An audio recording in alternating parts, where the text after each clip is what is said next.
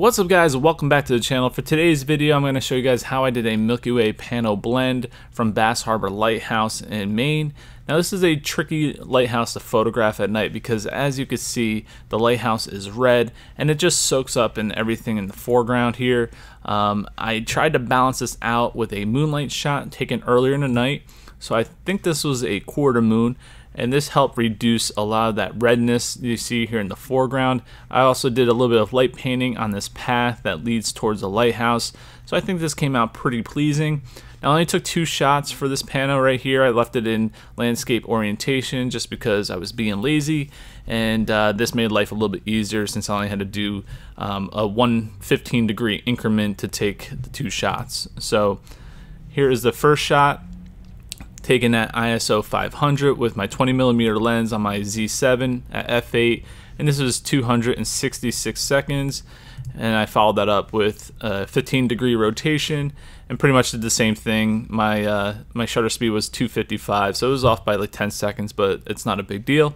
And then I blended the two into a panorama and then once the Milky Way was in position I did the same thing However, I did stack these photos. So I took 20 photos here and 20 photos of this, and then I stacked them and tracked the sky just to make things a little bit sharper and less noisy.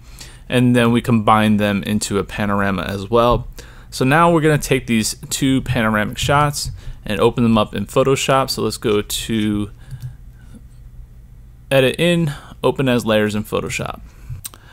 Alright, so here we are in Photoshop, and if I click and reveal this layer below it, you can see they're not quite perfectly aligned. Um, this is my foreground layer, and this is my sky layer, and we gotta make them better aligned. So let's select them both and go to Edit, Auto Align Layers, and hit OK. Now this usually does a decent job, but it's not gonna be quite perfect on these set of photos just because when they were blended as uh, panoramas, they blended a little bit differently. You could see the trees don't match perfectly. And um, obviously the foreground it's going to be sharper in my f8 shot than it is with my wide open shot. These bushes are blurry but um, it's not the end of the world. I'm going to show you guys how to blend this pretty easily. The one thing we do have to get rid of though is the tree on the sky layer because that's just going to make life a lot harder and I don't want to have a bright red tree so I want to get rid of that. I'd rather use this tree for my final image. So let's make a copy of these images. And let's hide this top uh, foreground layer and focus on our sky layer. So I'm going to zoom in here. I want to grab the polygonal lasso tool and I'm just to start right around here because I kind of want to get rid of this area. So click right here and I'm just to do this really fast.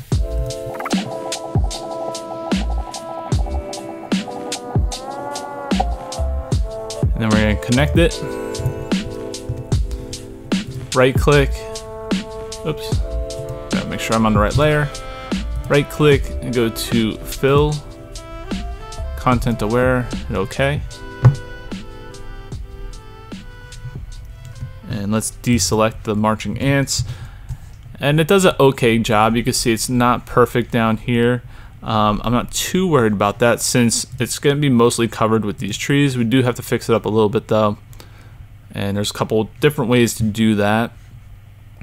So first I want to grab my patch tool and kind of smooth out some of these areas. And I'll also be jumping to the spot healing brush as well and getting rid of these weird little artifacts here.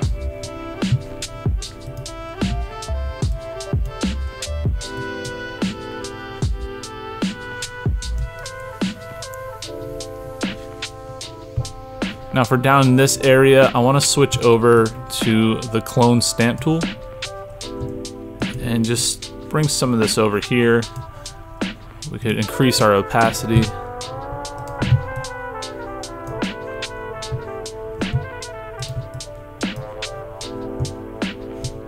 I'm gonna lower it a little bit right here.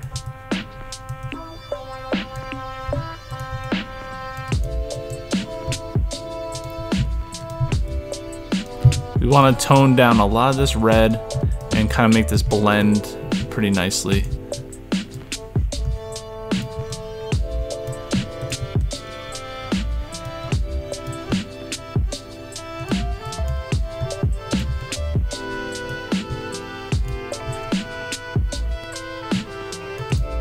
Gonna switch back to my patch tool, select areas and kind of just drag them out and try and smooth this out a little bit more.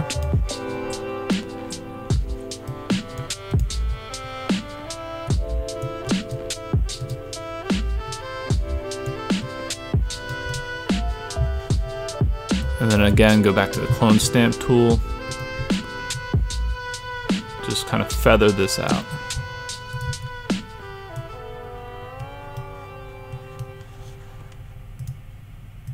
Lot of that's going to get covered up with the tree and the bushes here, so I'm not too worried.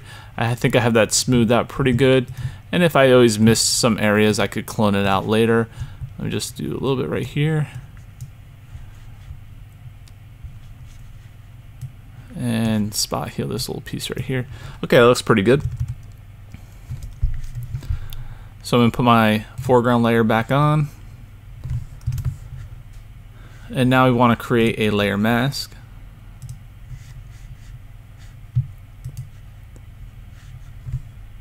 And I'm just going to hit my, oops. I want to change this opacity to 100%, hardness at 100%, and I hit the backslash key so I could uh, see where I'm painting and we're just gonna paint away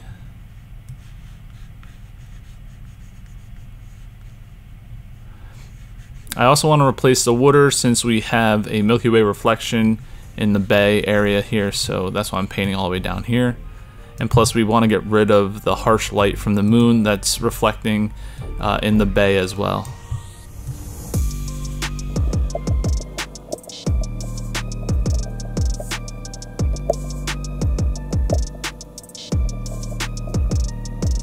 Alright, so once that's done, I'm going to right click and go to select and mask. And now we just want to paint around the areas that we want to blend.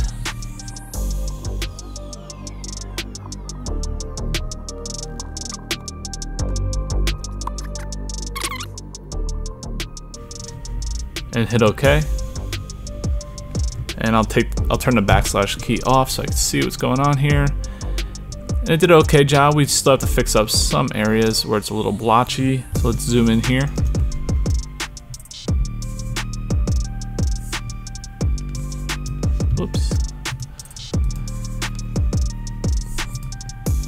So I'm to lower my hardness down and lower the opacity.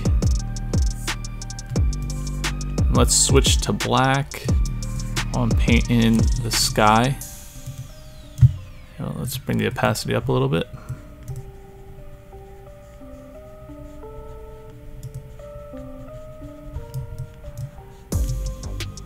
Not too worried all the way up here because this is going to get cropped out. This was when we did the pano.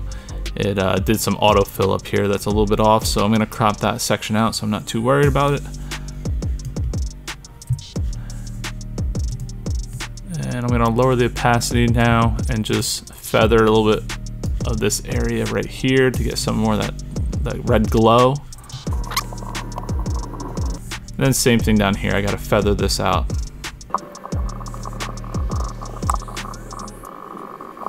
Alright, that's starting to look pretty good.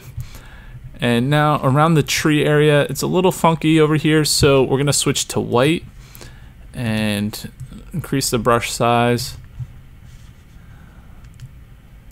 Put the opacity really low. And again, I'm doing some feathering in the opposite direction now. Now I'm bringing back some more of the foreground.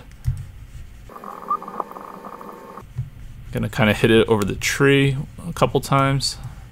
I'm only at 5%, so it's not doing too much. It's just a nice subtle, nice subtle blend.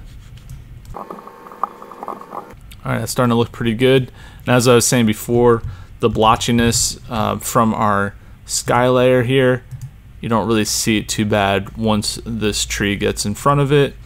Um, yeah, so it's starting to look pretty good. I could always paint a little bit of uh, like a pinkish red behind here a little bit more if I wanted to, but it's not too bad of a blend. Or I could also dial this back a hair.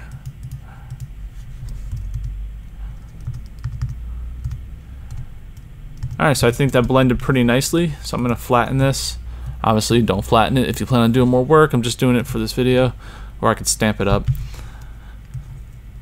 And then from here, I could uh, crop it or I could bring it into Lightroom and crop it as well.